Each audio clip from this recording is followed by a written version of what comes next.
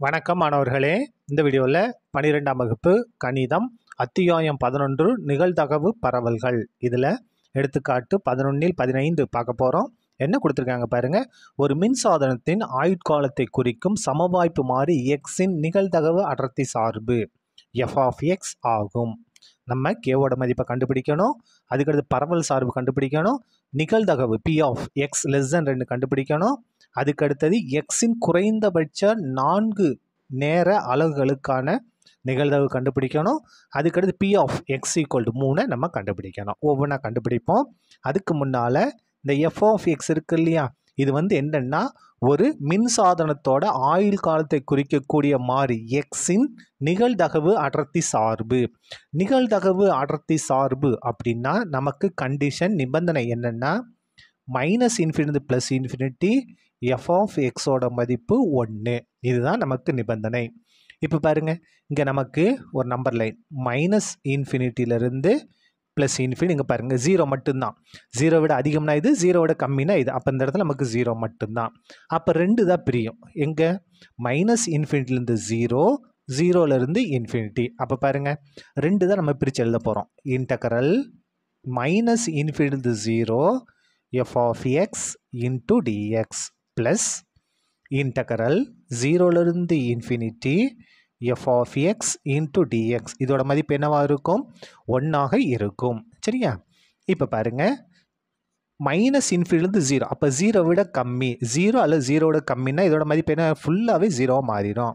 இங்கே ஜீரோ ஜீரோவை இன்டகிரேட் பண்ணால் ஜீரோ எல்லாமே ஜீரோ மாறிடும். இன்டகரல் ஜீரோ வந்து இன்ஃபினிட்டி ஜீரோ வந்து இன்ஃபினிட்டி அப்போ ஜீரோ விட அதிகம். ஜீரோ விட அதிகம்னா என்ன நமக்கு? கே இன்ட்டு E இயின் அடுக்கு மைனஸ் ரெண்டு X into DX equal to ஒன்று இப்போ பாருங்கள் இந்த கேவ் எடுத்து நம்ம வெளியே வச்சுருவோமா? கே மாறிலி எடுத்து வெளியே வச்சுட்டோம். இப்போ ஈயின் e அடுக்கு எக்ஸாகவே எடுத்துக்கலாம். E இஇன் அடுக்கு எக்ஸை இன்டகிரேட் பண்ணால் ஈயின் அடுக்கு எக்ஸாக எக்ஸுக்கு பதிலாக மைனஸ் ரெண்டு எக்ஸ் அப்படியே போட்டாச்சு. மறக்காமல் தொகையிடும் போது இன்டகிரேட் பண்ணும்போது எக்ஸோட கெழுவை கொண்டு வகுக்கணும். எக்ஸோட கெழுவினருக்கு மைனஸ் ரெண்டு அப்போ மைனஸ் ரெண்டை கொண்டு வகுக்கணும். சரியா? மதிப்பு ஜீரோலேருந்து இன்ஃபினிட்டி வரைக்கும் இதோட மதிப்பு எதுக்கு சமமாக இருக்கும்? ஒன்றுக்கு சமமாக இருக்கும். இப்போ பாருங்கள் கே பை மைனஸ் ரெண்டு எடுத்து வெளியே வச்சுருவோம். மார்லி தானே? வெளியே வச்சாச்சு. இப்போ அப்பர் லிமிட்ஸ் இயின் அடுக்கு மைனஸ் எக்ஸுக்கு பதிலாக இன்ஃபினிட்டி இன்ஃபினிட்டியும் ரெண்டு பேர்னா இன்ஃபினிட்டி தான். என்ன infinity minus infinity minus lower limits இயின் அடுக்கு எக்ஸுக்கு பதிலாக ஜீரோ ஜீரோ என்ன பேர்னா ஜீரோ தான். ஜீரோ வந்து ப்ளஸ்ஸும் கிடையாது மைனஸும் கிடையாது. அப்படியே வந்துடும் இயின் e அடுக்கு ஜீரோ மாறிடும் ஈக்குவல் டு ஒன் இப்போ பாருங்கள் மைனஸ் கே பை இரண்டு. இந்த இடத்துல e இயின் அடுக்கு மைனஸ் இன்ஃபினிட்டி அப்படின்னா அதோட மதிப்பு ஜீரோ மைனஸ் இயின் அடுக்கு ஜீரோனா அதோட மதிப்பு ஒன்று இயின் e அடுக்கு மைனஸ் இன்ஃபினிட்டினா ஜீரோ இயின் அடுக்கு ஜீரோனா ஒன்று ஈக்குவல் டு ஒன்று இப்போ பாருங்கள் மைனஸ் கே ஜீரோ மைனஸ் ஒன்று மைனஸ் ஒன்று ஈக்குவல் டு இந்த ரெண்டு இங்கே வந்தால் பெருக்கலாம் மாறும். ஓ ரெண்டா ரெண்டு. மைனஸ் மைனஸ் செவன் ப்ளஸ்ஸா ஒன்றையும் கேவன் பேர்னா கே. அப்போ கே ஈக்குவல் டு இரண்டு. கே ஈக்குவல் டு இரண்டு. முதல் இது என்னது? கேவோட மதிப்பு தான் கண்டுபிடிச்சி சொல்லியிருந்தாங்க நம்ம கண்டுபிடிச்சிட்டோம். கேவோட மதிப்பு இரண்டு. அதுக்கு முன்னால் இந்த சார்பு எடுத்து எழுதிடலாமா பாருங்கள் F of X equal to பாருங்கள் கே இன்ட்டு இன் e அடுக்கு மைனஸ் எக்ஸ் நம்ம கேவோட வேலை தான் கண்டுபிடிச்சிட்டோம். என்ன? இரண்டு இன்ட்டு இன் e அடுக்கு மைனஸ் ரெண்டு எக்ஸ் எப்போன்னா எக்ஸ் கிரேட்டர் தென் ஜீரோவாக இருக்கும். அதுக்கடுத்து ஜீரோ பாருங்கள் எப்போன்னா X less than or equal to ஜீரோவாக இருக்கும்போது. முதல் ஆன்சர் என்ன கேட்டிருந்தாங்க? கே கேவோட மதிப்பு நம்ம ரெண்டுன்னு கண்டுபிடிச்சிட்டோம். ரெண்டாவது நம்ம கண்டுபிடிக்க போகிறது பரவல் சார்பு. கண்டுபிடிக்கலாமா? பரவல் சார்பு. பரவல் சார்புன்னா நம்ம என்ன கண்டுபிடிக்கணும்? கேபிட்டல் எஃப் ஆஃப் எக்ஸ் கண்டுபிடிக்கணும். பாருங்கள் கேபிட்டல் எஃப் ஆஃப் எக்ஸுக்கு formula P of capital X less than or equal to X equal to என்ன ஃபார்முலானா minus integral minus இன்ஃபினிட்டியிலிருந்து X F of U into DU இதுதான் ஃபார்முலா இப்போ பாருங்கள் ஒரு சின்ன நம்பர் லைன் மைனஸ் இன்ஃபினிட்டிலேருந்து ப்ளஸ் இன்ஃபினிட்டி பாருங்கள் நமக்கு ஜீரோ மட்டும்தான் இருக்குது அப்போ ஜீரோ அப்போ முதல்ல மைனஸ் இன்ஃபினிட்டிலேருந்து ஜீரோ கண்டுபிடிக்கணும் அதுக்கடுத்து மைனஸ் இன்ஃபினிட்டி ப்ளஸ் இன்ஃபினிட்டி ரெண்டு இது நம்ம கண்டுபிடிக்கணும். ஒவ்வொன்றா கண்டுபிடிப்போம். முதல்ல நம்ம கண்டுபிடிக்கப்படுது ஜீரோ விட கம்மி. ஜீரோ விட கம்மின்னா X less than or equal to zero X less than or equal to zero எனில் நம்ம என்ன கண்டுபிடிக்க போகிறோம் F of X F of X formula என்ன?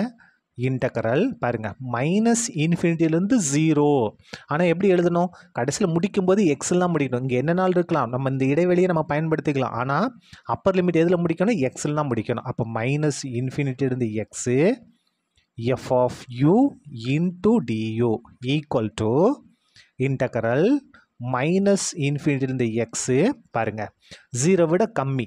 ஜீரோ விட கம்மின்னா அந்த சார்போட மதிப்பே ஜீரோ தான். அப்போ ஜீரோ இன்ட்டு டிஓ அப்போ மொத்த மதிப்பு என்ன மாறிடும்? ஜீரோவாக மாறிவிடும். அதுக்கு அடுத்தது இப்போ பாருங்கள் ஜீரோ விட அதிகம். ஜீரோ விட அதிகம். இல்லையா? ஜீரோலேருந்து இன்ஃபினிட்டி அப்படின்னா என்ன அர்த்தம்? எக்ஸ் கிரேட்டர் தென் ஜீரோ எனில் எப்படி எழுதணும் பாருங்கள் ரெண்டு தான் எழுதணும். மைனஸ் இன்ஃபினிட்டிலிருந்து ஜீரோ எழுதலாமா? F of X F of X equal to integral minus இன்ஃபினிட்டிலிருந்து zero F of U into DU plus integral ஜீரோலேருந்து இன்ஃபினிட்டி இங்கே எழுதும்போது என்ன எழுதணும்? எக்ஸ் தான் எழுதணும். பரவல் சார்பு எழுதும்போது இந்த கடைசியில் வரதை எழுதக்கூடாது. எதெல்லாம் முடிக்கணும்? எக்ஸ் எல்லாம் முடிக்கணும். F of U into DU சரியா? இப்போ பாருங்க. ஈக்குவல் டு ஜீரோ விட கம்மி. ஜீரோ விட கம்மி அப்படின்னா அதோட மதிப்பு ஜீரோ தான். ஜீரோ விட அதிகம்னா ரெண்டு இன்ட்டு e இன் அடுக்கு மைனஸ் ரெண்டு எக்ஸ் இப்போ பாருங்க. மைனஸ் இன்ஃபினிட்டி ஜீரோ அப்போ ஜீரோ விட கம்மினா இதோட மதிப்பு என்ன? ஃபுல்லாகவே ஜீரோவாக மாறிவிடும் இது ஃபுல்லாகவே ஜீரோ தான். இங்கே ஜீரோ ஜீரோவை தொகையிட்டா ஜீரோ எல்லாமே ஜீரோ ஆயிரும். இன்டகரல் ஜீரோலேருந்து எக்ஸு எஃப் ஆஃப் யூ இது வந்து எப்போ? ஜீரோ விட அதிகம். ஜீரோலேருந்து எக்ஸு அப்போ ஜீரோ விட அதிகம் அப்படின்னா ரெண்டு இன்ட்டு இன் அடுக்கு மைனஸ் ரெண்டு எக்ஸு ஆனால் பரவல் சார்பில் எக்ஸுக்கு பதிலாக என்ன எழுதணும்? யூன்னு எழுதணும். அப்போ ரெண்டு இன்ட்டு ரெண்டு இன்ட்டு இன் அடுக்கு மைனஸ் ரெண்டு எக்ஸ் இருக்கா? எக்ஸுக்கு பதிலாக யூ இன்ட்டு டியூ சரியா?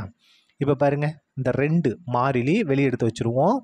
இயின் அடுக்கு யூவை தொகையிட போகிறோம் எதை பொறுத்து? யூவை பொறுத்து. அப்போ என்ன வரும்? இயின் அடுக்கு மைனஸ் ரெண்டு யூ தான். மறக்காமல் எதை கொண்டு வகுக்கணும்? யூவோட கெழுவை கொண்டு வகுக்கணும். யூவோட கெழு என்ன? மைனஸ் ரெண்டு அதை கொண்டு வகுக்கணும். சரியா? இப்போ பாருங்கள் ஜீரோலேருந்து எக்ஸ் வரைக்கும் ஈக்குவல் டு இந்த ரெண்டு இந்த ரெண்டு கேன்சல் ஆயிரும். மைனஸ் இங்கே அப்படியே வந்துடும் சரியா? பாருங்கள் இஇன் அடுக்கு மைனஸ் ரெண்டு யூக்கு பதிலாக எக்ஸு மைனஸ் லோயர் லிமிட்ஸ் இயின் அடுக்கு என்ன வரும் பாருங்கள் யூக்கு பதிலாக ஜீரோ ஜீரோ மைனஸ் ரெண்டு ஜீரோ தான்.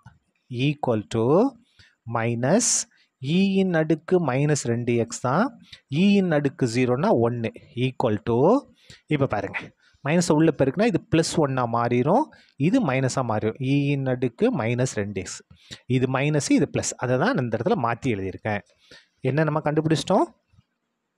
பரவல் சார்பு.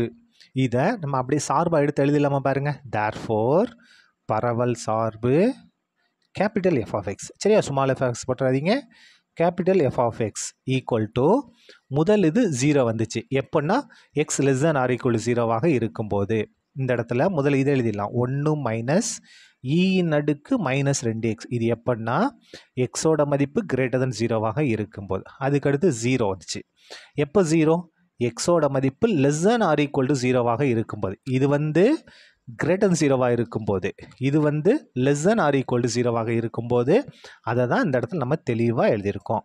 இப்போ அதுக்கு அடுத்தது நம்ம கண்டுபிடிக்க போகிறது மூணாவது. கண்டுபிடிக்கலாமா பாருங்கள் மூணாவது இது என்ன கண்டுபிடிக்கணும்னா P of X less than or equal to இரண்டு கண்டுபிடிக்க போகிறோம் இதுக்கு என்ன அர்த்தம் அப்படின்னா எஃப் ஆஃப் இரண்டுன்னு அர்த்தம்.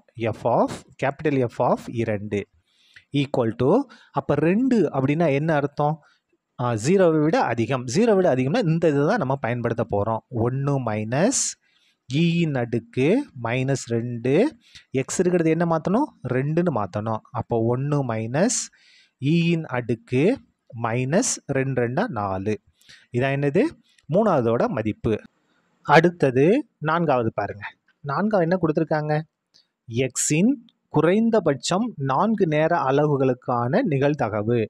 குறைந்தபட்சம் நாலு. குறைந்தபட்சம் நாலுனா நான்கு இருக்கலாம் அல்லது நான்கை விட அதிகமாக இருக்கலாம். அப்போ பாருங்கள் P of X greater than or equal to நான்கு. நான்கு வரலாம் நான்கை விட அதிகமாக இருக்கலாம்.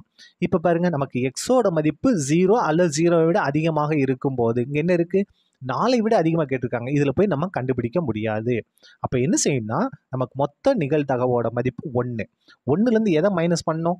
நாலுக்கு முன்னால் இருக்கிற மாதிரிலாம் மைனஸ் பண்ணால் நமக்கு என்ன கிடச்சிரும்? நாலுக்கு அடுத்து இருக்கக்கூடியது நமக்கு கிடச்சிரும். பாருங்கள் நமக்கு நாலு நாளை விட அதிகம் தான் வேணும். மொத்த நிகழ்தகவு ஒன்று அது என்ன செய்ய போகிறோம் நான்குக்கு முன்னால் இருக்கிறத நம்ம மைனஸ் பண்ண போகிறோம் அதுதான் இந்த இடத்துல நம்ம பண்ணியிருக்கோம். இப்போ பாருங்க. ஈக்குவல் டு ஒன்று மைனஸ் இந்த லெஸ் தென் வந்துட்டாலே நமக்கு என்னது? கேபிட்டல் எஃப் ஆஃப் நான்குன்னு அர்த்தம். ஈக்குவல் டு ஒன்று மைனஸ் பாருங்க. லெஸ் தென் நான்கு. அதாவது எஃப் ஆஃப் நாலு. எஃப் ஆஃப் நாலுனா இதானே? எதை விட அதிகம்? ஜீரோ விட அதிகம். அப்போ இந்த இதுதான். அப்போ இந்த இடத்துல ஒன்று மைனஸ் இன் அடுக்கு மைனஸ் ரெண்டு. எக்ஸு எக்ஸுக்கு பதிலாக நான்கு. இப்போ பாருங்க. ஈக்குவல் டு ஒன்று மைனஸ் உள்ளே பெருக்கலாமா? மைனஸ் பெருக்குனா மைனஸ் ஒன்றா மாறிடும் மைனஸை மைனஸ் பெருக்குனா ப்ளஸ்ஸு இன் அடுக்கு மைனஸ் எட்டு. இருந்தாங்க எட்டு மைனஸ் எட்டு. ஈக்குவல் டு ஒன்று மைனஸ் ஒன்று ஜீரோ ஜீரோவும் இயின் அடுக்கு மைனஸ் எட்டையும் கூட்டினா e இயின் அடுக்கு மைனஸ் எட்டு. முடிச்சிட்டோம். அதுக்கடுத்து பாருங்கள் கடைசி இது ஐந்தாவது இது. ஐந்தாவது பாருங்க P of X equal to மூணு. P of X equal to மூணுன்னு கேட்டிருக்காங்க.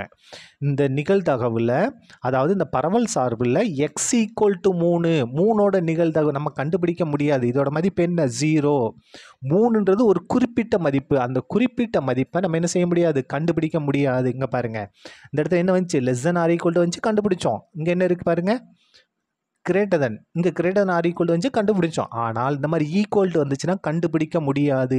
ஏன் அப்படின்னா இந்த எக்ஸுன்ற சமவாக் மாறி எப்படி இருக்கும்? தொடர்ச்சியானதாக இருக்கும். பரவல் சார்பில் இந்த எக்ஸ் என்னவாக இருக்கும்? தொடர்ச்சியாக இருக்கும். இங்கே வந்து பாருங்கள் மூணு முடிஞ்சிருச்சு. அப்படியே முடிஞ்சிருச்சு. முடியக்கூடாது. அடுத்தடுத்து போய்கிட்டே இருக்கணும். கிரேட்டர் தன் மூணு லெஸ் தென் மூணு கிரேட்டர் தென் அஞ்சு லெஸ் தென் அஞ்சு அந்த மாதிரி இருக்கணுமே தவிர இந்த மாதிரி முடியக்கூடாது. முடிஞ்சுன்னா இது என்ன? தொடர்ச்சியற்றதாக மாறிடும் அப்படி மாறிடுச்சுன்னா இதோட மதிப்பு ஜீரோ ஏனெனில் காரணத்தை எழுதிடுவோம் ஏனெனில் எக்ஸ் தொடர்ச்சியானது ஆகும். தொடர்ச்சியானது ஆகும். சரியா? அவ்வளோதான் இந்த கணக்கு முடிந்தது. நன்றி.